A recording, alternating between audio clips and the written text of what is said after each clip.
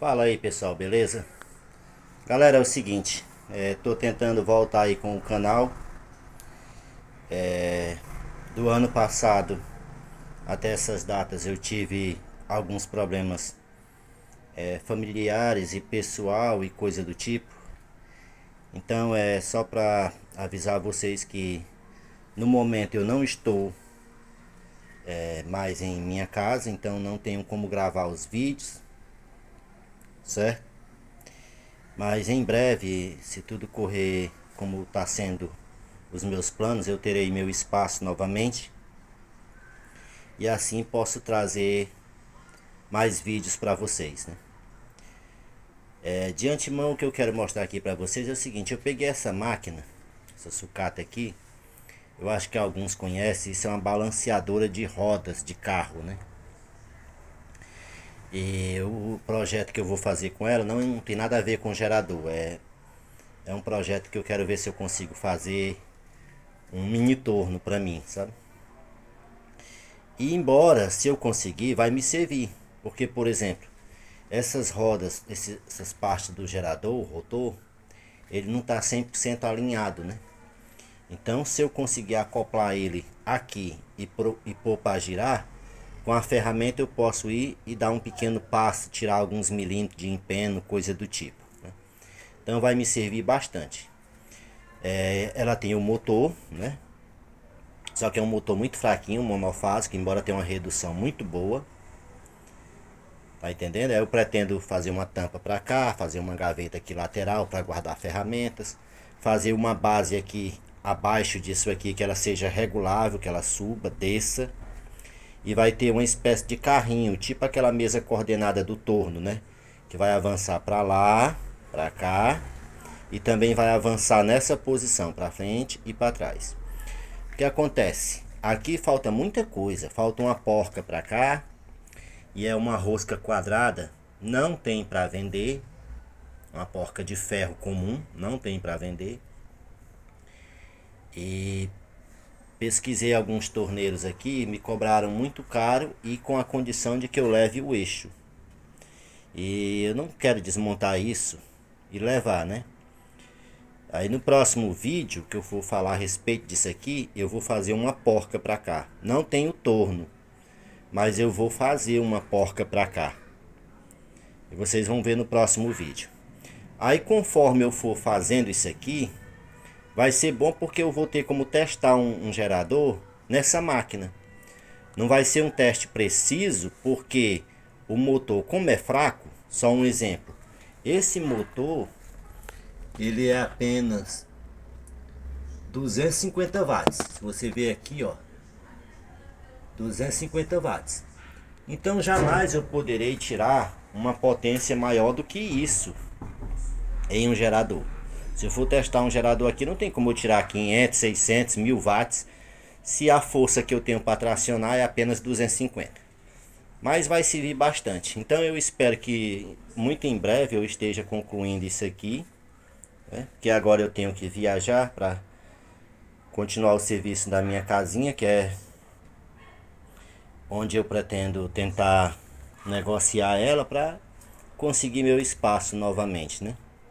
Porque por enquanto eu estou morando aqui com a minha irmã e também estou desempregado, então não dá para fazer muita coisa. Essa máquina que eu pretendo fazer, eu sei que alguns até torneiros vão criticar pessoas que têm condições ou que sabem se funciona ou não.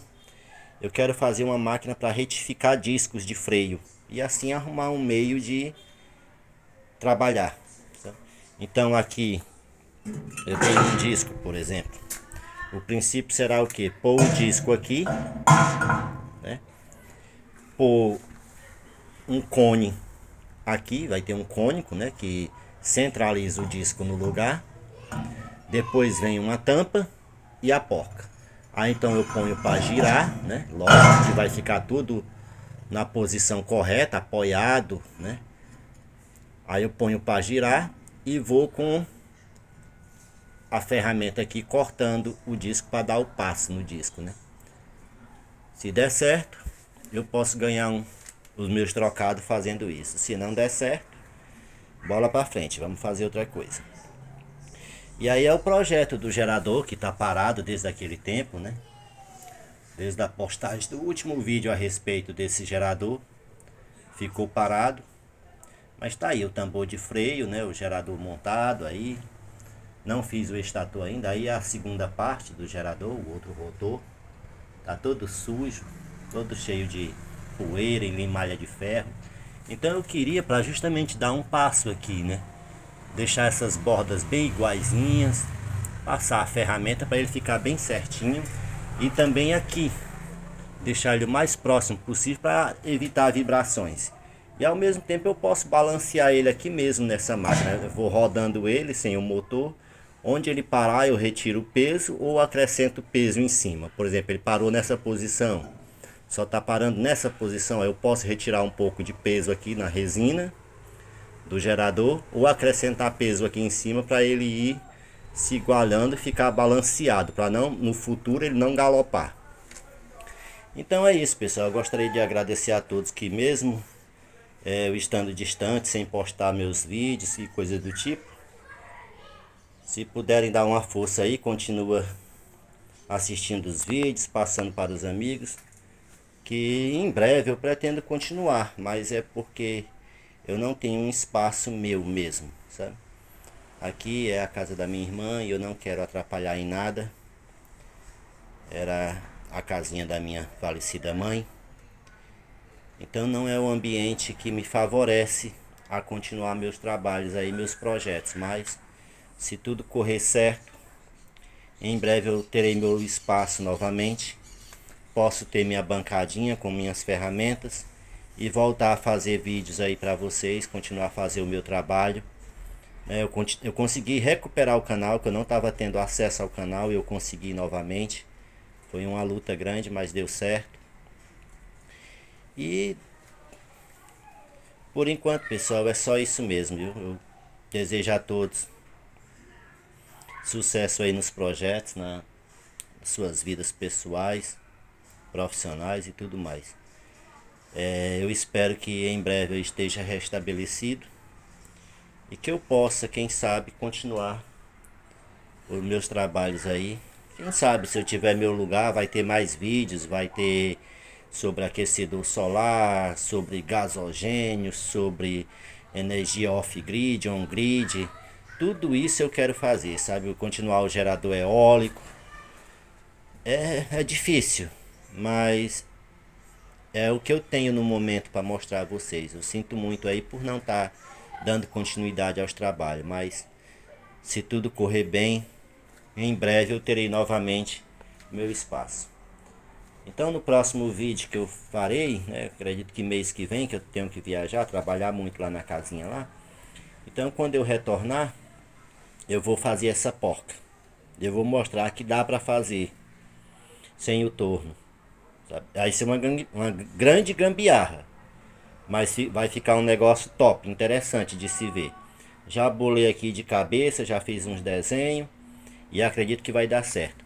E até o cone que tem nessas máquinas. Muitos conhecem essas máquinas. Esse cone é, ele é para vários tipos de roda, né? Então ele muda de tamanho, né? A espessura dele, o grau dele, ele é mais ou é menos, né? E eu vou fabricar esses cones também, que eu já desenhei uma forma de fabricar eles. Vai ser tudo caseiro, mas vai ser tudo bem feitinho, tudo funcional. Sabe? É aquela coisa, a gente tem aquele espírito de ferreiro medieval, que não tinha muito recurso, mas fazia as coisas acontecerem. Eu tinha opção simples, eu podia soldar aqui um parafuso com uma rosca comum e uma porca, mas eu não quero. Eu não quero desperdiçar isso aqui. Eu quero aproveitar o máximo que eu puder desse eixo. Então, desde já, meu muito obrigado a todos. E eu espero que em breve eu esteja voltando aí com vocês aí, trocando as nossas experiências, conversando, recebendo as pedradas da vida, as críticas aí e tudo mais. Só queria deixar é, uma lição para todos que assistiram até aqui. Se você tiver um sonho, cara, não compartilha com ninguém não, viu? Sonha sozinho mesmo que Se der certo, deu. Se não der certo, você aprendeu. Beleza? Obrigado, galera. Boa tarde.